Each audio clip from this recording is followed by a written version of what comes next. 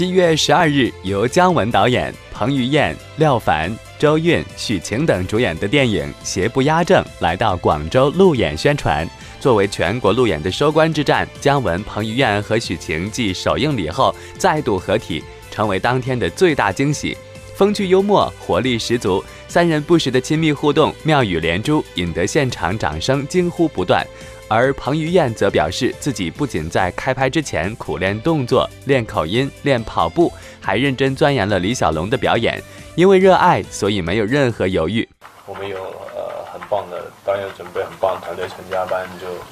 呃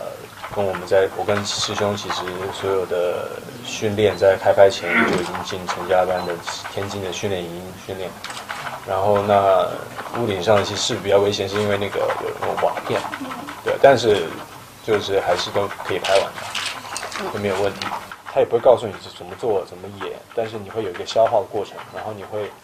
得到那个养分，然后你再去表现出来，或是一个事情的看法。我觉得这个是很重要的，那你就会有吸收，然后出来东西是属于自己自己的。